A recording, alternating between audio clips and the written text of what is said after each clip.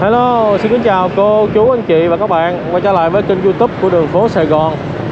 Dạ bây giờ là 1 giờ 30 phút buổi ờ, trưa ngày ờ, thứ bảy cuối tuần Ngày ờ, 17 tháng 6 năm 2023 Em đang có mặt ở đường An Dương Vương.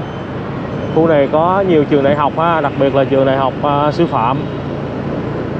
Đó, ở đây có trường Iveric Infinity là cái này là cái gì ta? Cái tòa nhà quá chứ không phải cái trường rồi.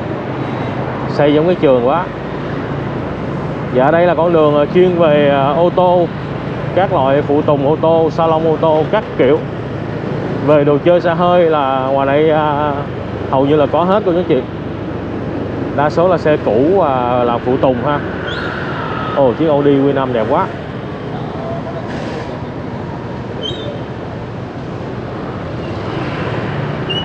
Chiếc Audi Q5 cái à, màu xanh này đẹp quá.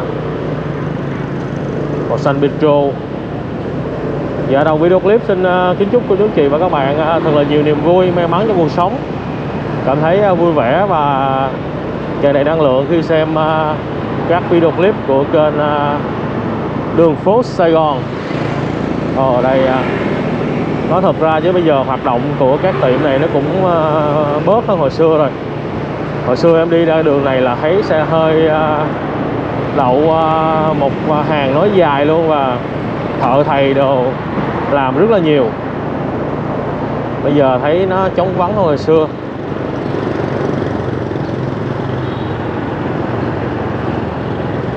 Đây ngã tư đường Lê Hồng Phong, với đường An Dương Vương, phường 4 quận 5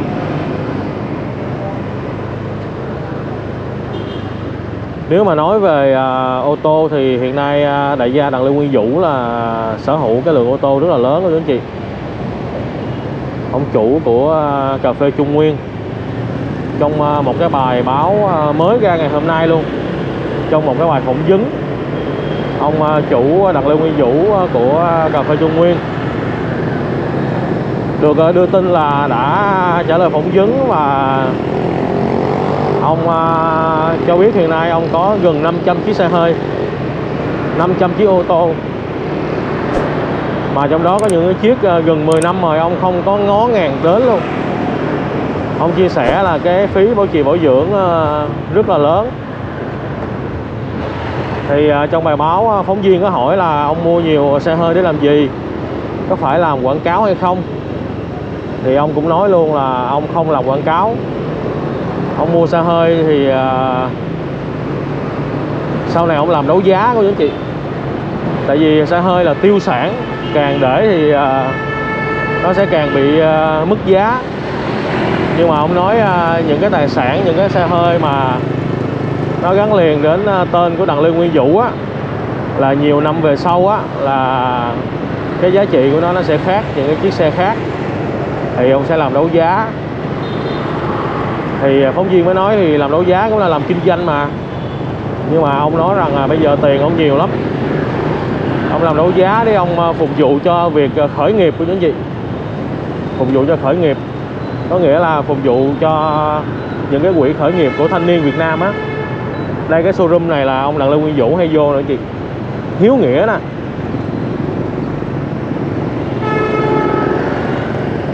Cái hiếu nghĩa là ông Đặng Lê Nguyên Vũ hay vô lắm.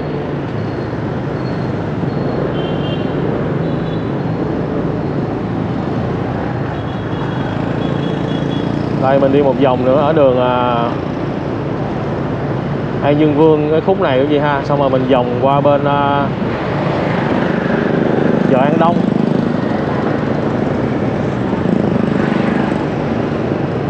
Đó bây giờ thị trường ô tô em thấy nó cũng trầm lắng lắm nó không có sôi động. Sau dịch thì cái gì nó cũng chậm hết. Chỉ có ăn uống là không có suy giảm thôi tại vì ai cũng phải ăn uống hết theo em là cứ ăn uống nông nghiệp là trường tồn.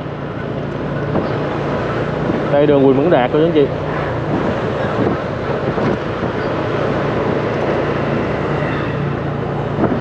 trời mát quá trời à, hiện tại là chưa có mưa. Ờ đây có chiếc à, G63 nè. Oh, màu kem đẹp quá.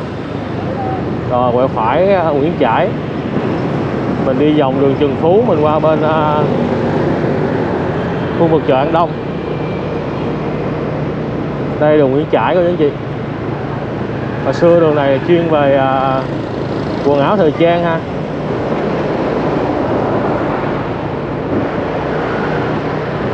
Giờ à, thấy cái gì cũng vắng hết. Mà cái tiền thuê mặt bằng thì nó vẫn cao nên là bà con à, buôn bán không được là trả mặt bằng hết. Đây bên trái là đường Bùi Hữu Nghĩa nè cô chú anh chị. Đường có bán à, dịch quay á. Có mấy cái tiệm dịch quay. Ồ đây có mấy con manơ canh người ta làm à, uh, xi mạ đồng nó nhìn hấp dẫn quá ha. Nhìn rất là đẹp sạch sẽ. Công nghệ càng ngày nó càng phát triển. Nhà mặt tiền Nguyễn Trãi này có một căn là cũng đủ sống rồi. Có một căn cho thuê là cũng đủ sống rồi cô chú chị. Mặt tiền Nguyễn Trãi. Quá đẹp. À, chúng ta quẹo qua đường Trần Phú để à, vòng qua bên à, khu vực chợ An Đông.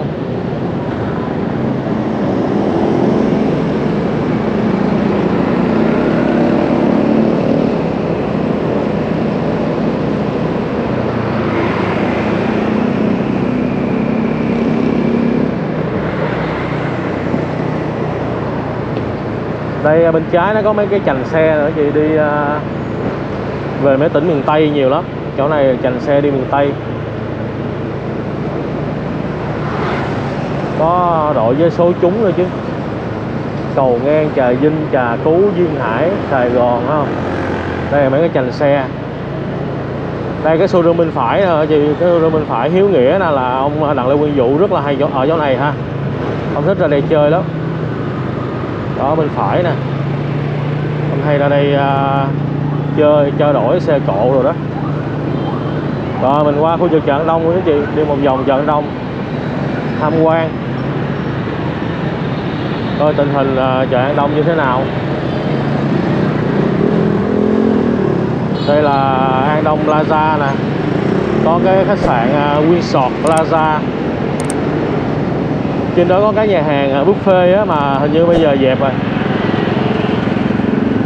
Em có một uh, đứa bạn nó làm bếp ở trong à, cái Winsort mà hình như dẹp. Hết bán buffet uh, Windsor rồi. Rồi đi một vòng vô khu vực uh, chợ An Đông của chị. Xem tình hình như thế nào. Oh, oh. đây chợ An Đông chợ An Đông đông hay vắng đây? Khách nước ngoài vô đây chắc ờ, đi du lịch quá.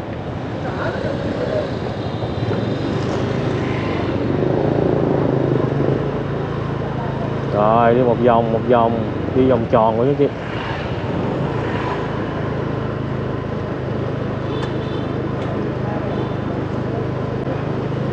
Ở ngoài là những cái bãi ờ, gửi xe. Gửi xe rất là nhiều.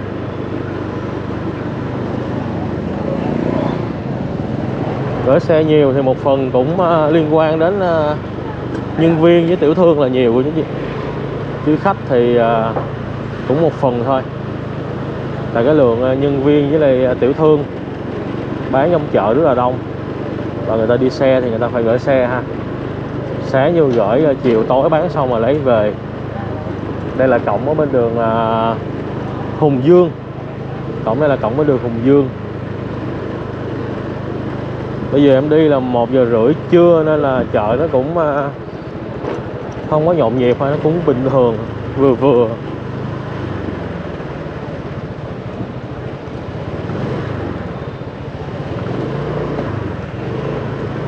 Chợ An Đông thì à, chuyên về vải vóc với lại quần áo.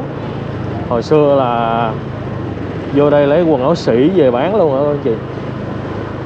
Trước là chợ An Đông nổi tiếng là quần áo luôn á giờ nó cũng còn, nhưng mà không biết là nó còn mạnh như hồi xưa không. Chứ hồi xưa chợ này là bỏ đi các tỉnh luôn mà. Hoặc là người ta nói hàng à, Sài Gòn rồi đó, là vô đây lấy à, chuyển đi các tỉnh phía Bắc. Đó, chợ An Đông.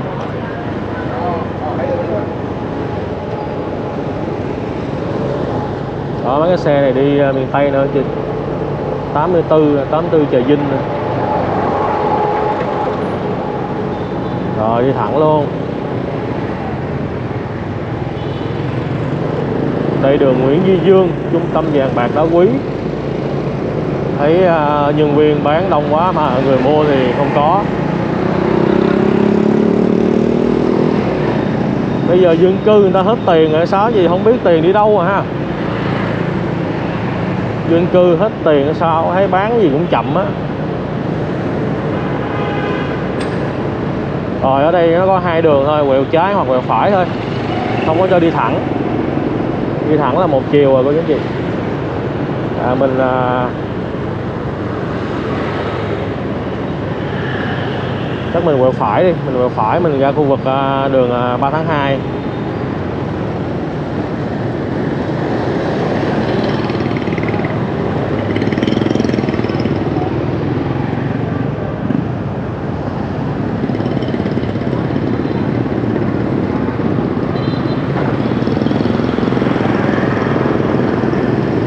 đây ngã tư đường Hùng Dương nè.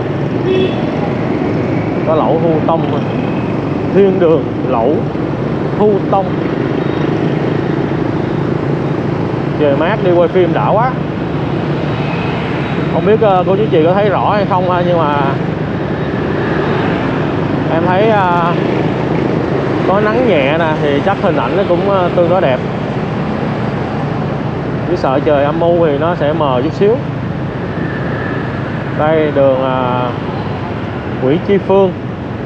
Thánh địa của sầu riêng ha. Ai mà muốn ăn sầu riêng là cứ ra đây. Đường Nguyễn Chi Phương. Bây giờ thì nhiều chỗ bán sầu riêng rồi. Bên chợ Thiên Nghè cũng bán à, quanh năm.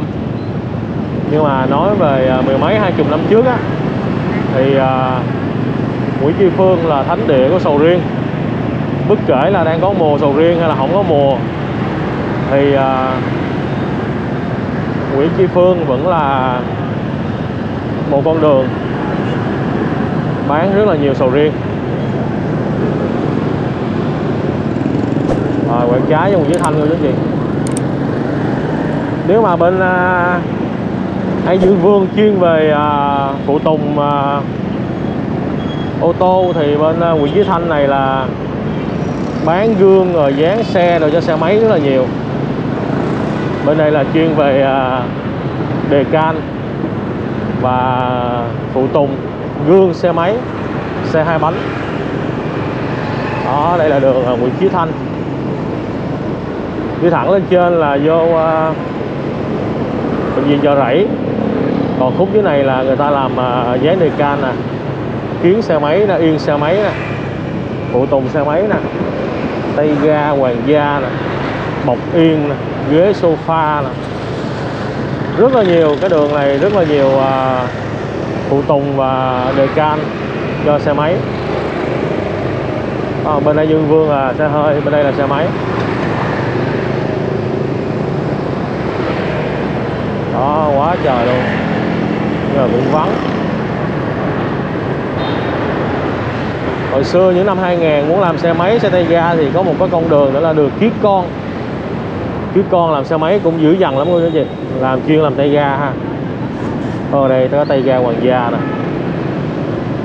Ở uh, năm uh, không được không được khoảng 500 m thì uh, có hai cái uh, chi nhánh tay ga hoàng gia. Sửa chữa tay ga Honda xe chạy nhẹ thao xăng đây là chi nhánh số 3 rồi. Có nghĩa là cái tiệm này nó có nhiều chi nhánh lắm. Sơn sửa tân trang điện đèn còi chống trộm làm nồi, làm máy, làm mới các loại xe. Phụ tùng chính hãng. Bảo đảm uy tín, chất lượng. Ở đây có tiệm ánh hồng là tiệm ánh hồng này à, dán xe chắc cỡ hơn hai chục năm.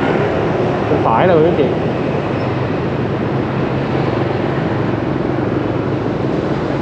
Chị ánh hồng này chỉ dán xe hơn hai chục năm rồi hồi xưa dán xe, dán điện thoại là đem ra ánh hồng. Làm à, chung làm được làm uh, tính tình ờ, chủ cũng dễ thương. Thợ cô làm cũng được. Làm xong thì mình uh, gửi thêm uh, tiền uh, tiền tiếp cà phê cà pháo đó cô chú chị. Ồ xe này tấp vô hả? Xe tải đang có đang cấm đường hay không mà chạy vô đây ta? Đây nhà máy bia Sài Gòn. Hai bên là cô chú chị. Hai bên là nhà máy bia Sài Gòn ha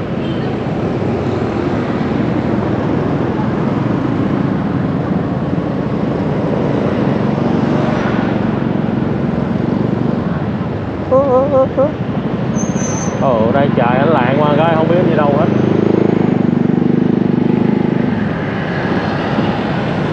Rồi vô đây là khu uh, gần đến bệnh viện chợ rẫy. Đây đường uh, Lý Thường Kiệt Ngã tư này đang uh, không có đèn xanh đèn đỏ. Nên là cứ chạy chậm qua ha Có vài cái chỗ người ta bị uh, mất tín hiệu đèn. Cúp điện á gì bị đèn bị cúp điện á là không có đèn ở đây có cái cửa hàng thu thảo này, cũng chuyên bán đề can nè.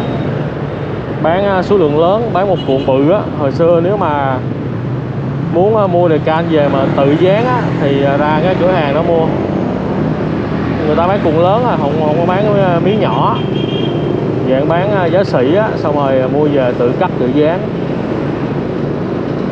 Ở đây bên trái là khu vực bệnh viện răng hàm mặt trung ương nè, rồi kế bên là bệnh viện nguyên chợ rẫy. Bệnh viện chợ rẫy này thì rất là nổi tiếng rồi. Nó thật ra là không ai muốn vô đây hết cô chú anh chị và các bạn. Nhìn ờ, đi ngang qua nhìn sợ lắm. Bất đắc dĩ lắm thì phải vô chứ ờ, không ai muốn vô bệnh viện chợ rẫy hết. Có những cái ca nặng nặng là chuyển về chợ rẫy hết rồi, em xin phép chạy đến cuối đường này luôn ha. Cuối đường à, Nguyễn Chí Thanh luôn. Cuối đường Nguyễn Chí Thanh là nó ra đường à, Nguyễn Thi Nhỏ đó. Em nhớ không lầm là ra đường Nguyễn Thi Nhỏ. Trong đây có khu Hà Tôn Quyền, chuyên bán sữa sủi cảo nè. Đến cái đoạn này thì người ta bán cái bàn thờ rất là nhiều. Hai bên chuyên bán bàn thờ, đồ thờ cúng. Đó. Chỗ này bán đồ thờ cúng rất là nhiều. Ông địa, ông thần tài rồi đó ha. Là chỗ này phó cơ diều. Bên phải là phó cơ diều. Chạy xuống là có à, hình như là bên đó là khu chợ thiết á. Trên đây có Hà Tôn Quyền. Hà Tôn Quyền à, bán à, sủi cảo. Ồ, trong đây có mấy tượng Phật, tượng quan âm rồi nhiều lắm, trong đây là đồ thờ cúng nhiều lắm. Quá trời nhiều luôn trong đây là gần như là nó thuộc về uh, khu của người Hoa đó các chị nên là đồ thờ cúng cũng nhiều lắm. Ồ mở cửa mở cửa. Anh này mở cửa chị kia chạy ngược chiều nữa rồi. Nếu mà có va chạm mà không biết sao luôn. Rồi chúng ta đang uh, gần đến cuối đường uh, đường Chí Thanh rồi.